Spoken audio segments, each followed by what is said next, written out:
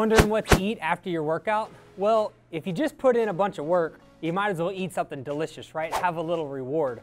But we also don't want to uh, steer away from our goals, right? So we want to be able to stay on track, have something that tastes great, but also is in alignment with our goals. So I'm gonna give you guys three options of things that are great to have after a workout uh, with a good amount of protein in them, um, but also taste great and won't steer you away from your fitness goals. So here's the three things. First, uh, a solid, uh, delicious uh, whey protein. This is peanut butter cookies and cream. So let me tell you, there are definitely proteins that don't taste good, but this is my personal favorite and it is awesome. So if you wanna try it out, just let me know, I can get some for you. Next, if you're uh, short on time, you don't like to uh, make a shaker before you leave or carry this huge jug around with you, these are pre-made protein shakes. This is a Premier Protein.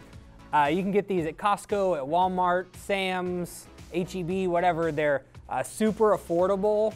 Uh, so is this though. Honestly, this is gonna be your cheapest route, but um, these are super convenient. 30 grams of protein. Um, so these are really easy to, to, keep with you, keep in the fridge, grab it on the way out, or uh, and then just you gotta find a way to keep it cold though if you're uh, doing this post-workout. So something to think about, but uh, very convenient for uh, a lot of times here with a pre-made shake versus having to carry a shaker with your shake um, with the protein powder.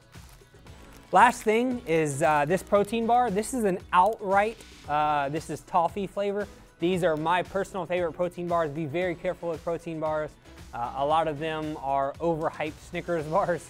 So uh, definitely be careful. Outright, uh, they're delicious. They have roughly 15 grams of protein. No matter what flavor you get, they have flavors like they have a donut flavor, obviously chocolate and all that uh, kind of normal stuff as well.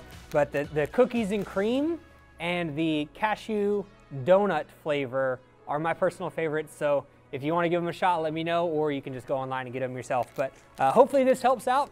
Three uh, easy options that also taste great to have after your workouts that won't get you off of your